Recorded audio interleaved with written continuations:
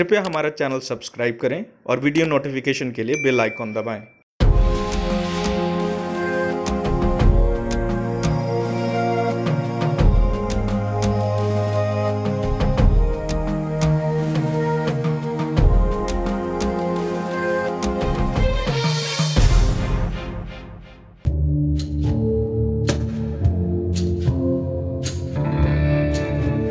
खूंटी में एक बार फिर पत्थलगढ़ी समर्थकों के एक्टिव होने की खबर है। प्रभात खबर की टीम जमीनी पड़ताल के लिए खूटी का रुख कर रही है। प्रभात खबर अपनी पड़ताल में उन गाँवों तक पहुँच रहा है जहाँ से पत्थलगढ़ी समर्थकों के एक्टिव होने की खबर आ रही थी।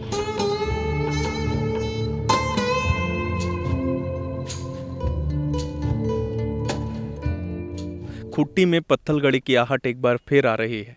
इस बार चर्चा है कि वैसे इलाके जिन इलाकों में अच्छा मतदान हुआ है या वैसे लोग जो मतदान के लिए निकले हैं, उन्हें भी अब पत्थलगड़ी समर्थक टारगेट कर रहे हैं। खबर है कि कुछ लोग, जो लोग वोट देकर आए थे, उनका सामाजिक बहिष्कार किया जा रहा है। खबर है कि उनसे कुछ मुआवजा भी लिया जा रहा है। कई जगहों पर पाँच सौ रुपये तक के मुआवजे की खबर है। इस खबर के बाद हम पड़ताल करने निकले हैं। खूटी के वैसे इलाके में जहाँ से ये खबर आई है। आइए, मैं सीधे आपको उन इलाकों तक लेकर चलता हूँ और बात करने की कोशिश करेंगे कुछ ग्रामीणों से, अधिकारियों से। जब प्रभात खबर में पत्थलगढ़ी समर्थकों के सक्रिय होने की खबर छपी तो प्रशासन एक्टिव हुआ। प्रभात खबर की टीम के पीछे सीओ दल बल के साथ निकले।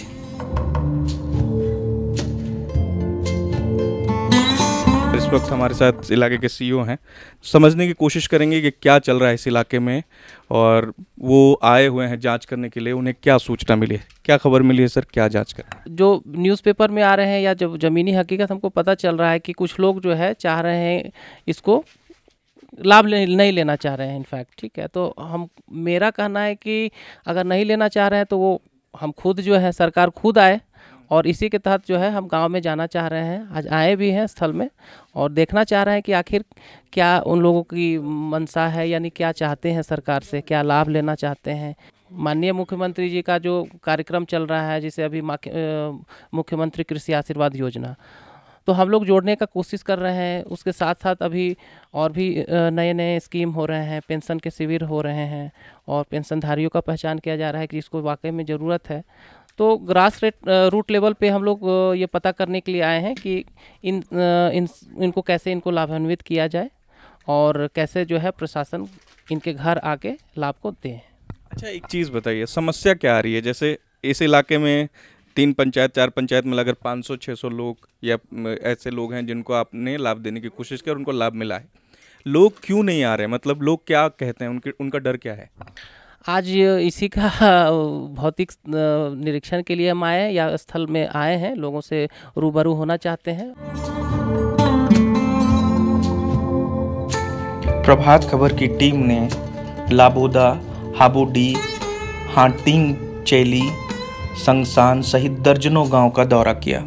सीओ भी पूरे मामले की जाँच के लिए हाबोडी पहुँचे। यहाँ ग्रामीणों ने पहले बात करने से इनकार कर दिया, फिर अपनी समस्याएँ गिनाने लगे। बताया कि कैसे अब तक कोई सरकारी सुविधा इन गाँव तक नहीं पहुँची। गाँव में पत्थलगढ़ी समर्थकों के एक्टिव होने के और सामाजिक बहिष्कार करने के बाद पर सबने चुप्पी साध ली। जब हमने गाँव की सुनीता देवी से बात किया तो उन्होंने भी गाँव में सब कुछ ठीक है कहकर टाल दिया। कितना बच्चा लोग है स्कूल में? स्कूल में चालीस चालीस पैतालीस को? हम्म। सब बच्चा आता है स्कूल? हम्म। अच्छा गाँव में और कोई दिक्कत है? नहीं दिक्कत है। कोई दिक्कत नहीं है? नहीं। और इधर जो अभी हो रहा था पत्थलगढ़ी सब उस को लेके भी कोई बोला है कुछ? वोट वोट देने को लेके? कुछ नहीं। गाँव में अब भी ज़्यादातर लोग बात करने से कतराते हैं कैमरा देखकर दूर भागते हैं। पत्थलगढ़ी पर चर्चा नहीं करते लेकिन कई गाँव वाले दबी ज़ुबान में यह मानते हैं कि बैठक होती है चर्चा होती है। उन्हें डर है कि सरकार उनकी ज़मीन न छीन ले। इस वक्त पत्थलगढ़ी की आहट खुट्टी में इसलिए भी तेज़ है क्योंकि पत्थलगढ़ी की एक साल पूरे हो रहे हैं कई इलाके ऐसे हैं जहाँ पत्थलगढ़ी इसी वक्त की गई थी पिछले साल। इस वक्त चर्चा है कि उसकी सालगिरह मनाई जाएगी। और इस वक्त मुंडाओं में एक परंपरा भी है कि वो पत्थल धोते हैं, पूर्वजों की जो पत्थलगढ़ी की उनकी परंपरा है, उसका पालन करते हैं। कई गाँव में इस वक्त ये परंपरा चल रही है। और ये बताते हैं लोग कि पत्थलगड़ी पर जब इस तरह की परंपरा होती है तो लोग आपस में बात करते हैं। और यही कारण है, संभवतः पुलिस भी ये मानती है कि पत्थलगड़ी को लेकर एक फिर से चर्चा हो रही है। यहाँ के लोग बहुत भोले भाले हैं और उस तरह के आदमी चाहिए जो उसको अपना आदमी मानते हो और समझाने की मैंने क्षमता रखते हो। अच्छा इन इलाकों में समस्या क्या आती है? इस इलाके के लोग अपनी भाषा में बात करते हैं, आप लोग जब पूछताछ करने के लिए जाते हैं तो कितनी जानकारी निकल के सामने आती है? आपकी क्या क्या समस्याएँ हैं? समस्या सबसे बड़ी बात हमें कि हम लोग को भाषा की है। भाषा की हम लोग मुंडारी नहीं जान पाते हैं, नहीं जानते हैं, और उनको अपना बात हम लोग समझा नहीं पाते हैं, या उनका बात समझ नहीं पाते हैं। तो सबसे बड़ा प्रॉब्लम है भाषा की। और जैसे भाषा की समस्या तो एक हो ही गई। दूसरे दूसरा ये है कि जब आप जो आपके इलाके के चौकीदार लोग भी हैं जो लोग वहाँ रह के काम करते हैं उनसे सूचनाएँ मिल पाती नहीं मिल पाती? चौकीदार लोगों का सबसे बड़ी समस्या है कि उनको उसी समाज में रहना है। और कहीं ना कहीं उन लोगों को माने भय है कि किसी बात को लेकर के गाँव के गोपनीयता को अगर हम लोग पुलिस तक पहुंचाएँगे तो हमको सामाजिक बहिष्कार कर सकता है।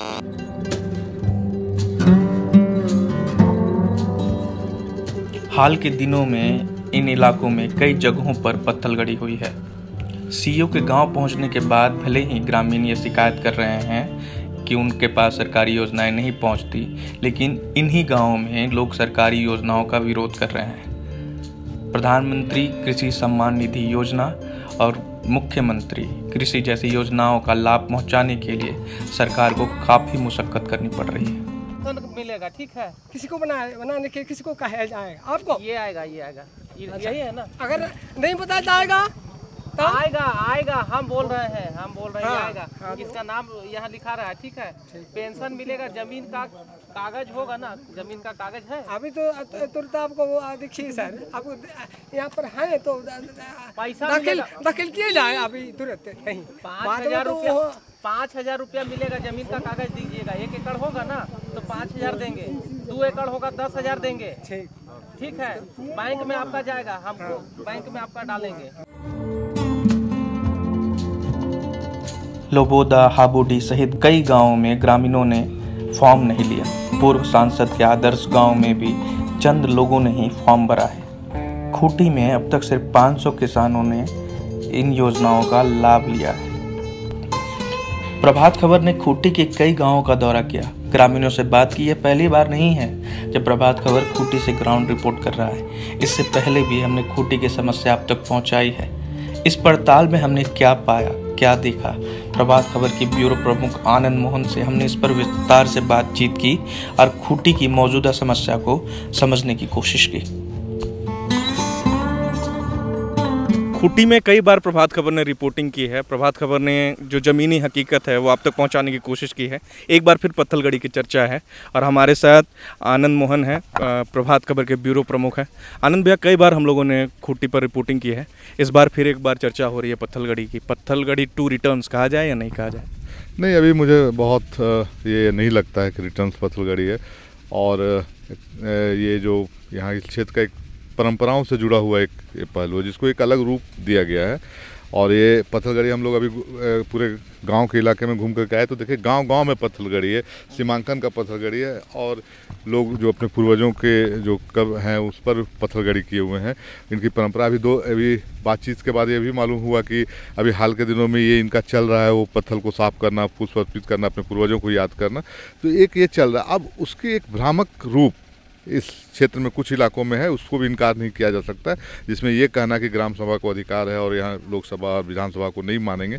तो व्यवस्था के खिलाफ भी एक किस्म का की आबो हवा है यहाँ जिससे इनकार नहीं किया जा सकता, लेकिन अभी तात्कालिक रूप से कोई बड़े पैमाने पर बहुत चीज़ें नहीं दिख रही है। अच्छा कई इलाकों में पत्थलगढ़ी को लेकर एक साल पूरे हो रहे हैं। यही कारण है कि पत्थलगढ़ी एक बार फिर चर्चा में है, या लोग, वैसे लोग जो पत्थलगढ़ी को लेकर आंदोलनरत थे, वो लोग एक्टिव हो गए हाँ कुछ ऐसी सूचनाएँ हम लोगों को अलग अलग क्षेत्रों से मिल रही है कि जहाँ पर जिस इलाके में जिस समय पत्थलगड़ी हुआ और एक वर्ष पूरा होने के उपलक्ष्य में फिर लोगों के, का जुटान हो रहा है।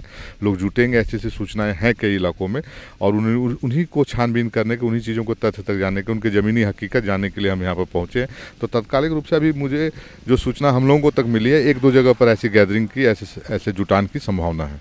अच्छा सरकारी योजनाओं को लेकर क्या स्थिति है? मतलब कृषि, प्रधान, मुख्यमंत्री कृषि आशीर्वाद योजना है, प्रधानमंत्री किसान सम्मान निधि योजना है, ये योजनाएँ पहुँच रही हैं, नहीं पहुँच रही हैं, लोग ले रहे हैं। बातचीत हुई सीओ से, उन्होंने क्या बात पंकज, बड़ा ही चौंकाने वाली चीज़ें, दो चीज़ें हम लोगों को आई। एक तो जो अभी तत्काल रूप से मुख्यमंत्री आशीर्वाद योजना जो चल रहा है, जिसके लिए पूरा प्रशासन लगा हुआ है कि भाई किसानों को पैसा उनके खाते तक पहुँचे।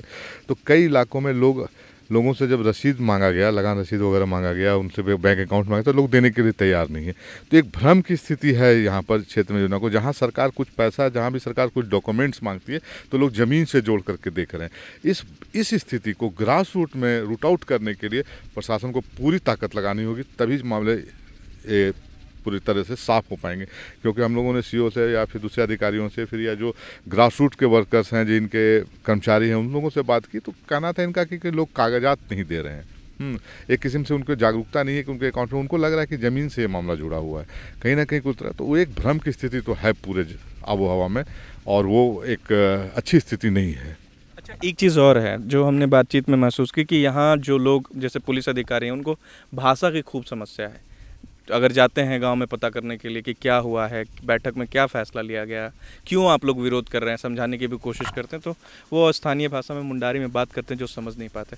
तो ये समस्या अब तक अगर इतने साल से ये समस्या है तो क्यों ये बनी हुई है अब तक? और अधिकारी भी क्या कह रहे हैं इस संबंध में? एक भाषाई दुराव तो है यहाँ पर। वो एक डिस्टेंस दिखता है भाषा से, एक तो पूरा मुंडा का इलाका है तो वो उसी भाषा मुंडारी में बात करते हैं। और जो अफसर्स हैं यहाँ पर, या फिर जो अधिकारी हैं, कर्मचारी हैं, उनके साथ एक भाषा का, भाषा की दिक्कत है। उनको ये अपना नहीं समझ पा रहे हैं। जो सीधे सीधे तौर पर ये कहा जाए कि उनको ये अपना समझते नहीं है और उनसे बात नहीं कर पाते हैं। तो यहाँ, और वो इनकी बात को नहीं समझ पा रहे हैं। हाँ ये एक दिक्कत है और ये तो हम लोग पत्रकारिता के जब कर रहे हैं, जब हम लोग भी गाँव में घुस रहे हैं, गाँव में काम करना चाह रहे हैं तो एक संकट हम लोगों के सामने भी है, लेकिन चीज़ें सामने आ जाती हैं। ऐसा नहीं है कि इनको समस्या का, के अधिकारियों को पता नहीं है। इनको नहीं मालूम है कि इनको कष्ट क्या है, इनको दिक्कत क्या है, सारी चीज़ें हैं, क्या यहाँ कमियाँ ये ये है। लेकिन जो एक कनेक्टिविटी है प्रशासन और आम लोगों की, वो कहीं ना कहीं भाषा उसके अड़चन में है तो इस पर भी ध्यान देना, देने की ज़रूरत है कि कैसे लोगों को यहाँ पर रखा जाए, जो गाँव के हों, समाज के हों, जो उनसे भुले मिले हों, जिनकी बात उनको समझ में आ रही हो, इस इस पर भी फोकस करने की ज़रूरत है। मेरा आखिरी सवाल है, ये पूरा जो पत्तलगढ़ी का आंदोलन है, आप देखते रहे हैं अब किस तरफ़ जा रहा है? क्या हम इसे कह सकते हैं कि पत्थलगढ़ का आंदोलन जो है वह अब एक तरह से समापन की तरफ़ है और कभी कभी बीच में इस तरह के मुद्दे हैं, वो उठते रहेंगे। या फिर ये कहें कि दोबारा आने की संभावना है, पत्थलगढ़ी समर्थक जो हैं, वो दोबारा एक्टिव हो रहे हैं। किस तरफ़ जा रहा है ये? मैं देख कर जो समझ रहा हूँ, एक किस्म से ये सामाजिक किस्म और सामाजिक और सांस्कृतिक रूप से जुड़ा हुआ पहलू है, जिसको कि प्रशासन को भी और सरकार को भी बहुत टैक्टफुली टैकल करने की ज़रूरत है। आप इनके परंपराओं को, संस्कृति को समझते हुए देखने की ज़रूरत है। दूसरी और एक ज़रूरत है कि आप दूसरे मोर्चे पर जो योजनाएँ चल रही है, वो किस तरह से गाँव में पहुँच रही है, उसमें क्या हडल्स है, उनको दूर करने की ज़रूरत है। तो बहुत पैनिक होने या बहुत इसको लेकर के बहुत दबाव या जिसको कहें कि एक प्रशासनिक और जिसको तंत्र का वो होता है, वो अभी इस गाँव के इलाके में नहीं, एक भ्रम की स्थिति ग्रामीणों में जिसे दूर कैसे किया जाए, इसको मिल बैठ करके सोचने की ज़रूरत है। और ये तभी होगा जब संवाद होंगे, दोनों तरफ़ से संवाद होंगे तो बहुत दूर तक जाता मुझे नहीं दिख रहा है ये पूरा मामला। लेकिन ये है कि इनको सब बात से आप जितना जल्दी रूट आउट करेंगे, जितना जल्दी इसको खत्म करेंगे, वो समाज के लिए, शासन, प्रशासन के लिए और इस क्षेत्र के लिए और इस इलाके के लिए बड़ी सुंदर वादियाँ हैं। तो इस इलाके के लिए और यहाँ की जो खूबसूरती है, यहाँ का जो सीधापन यहाँ का जो सादापन है, वो बरकरार रहेगा। तो वही बात है, कुल मिलाकर बात यही है कि इस इलाके में जो सादापन है, सीधापन है, वो वो रहना चाहिए बाकी। अगर समय रहते, भ्रम की स्थिति दूर हो गई तो बेहतर है। लेकिन अगर समय रहते, हम उन समस्याओं को नहीं समझ सके तो संभव है कि ये समस्या और बड़ी हो जाए।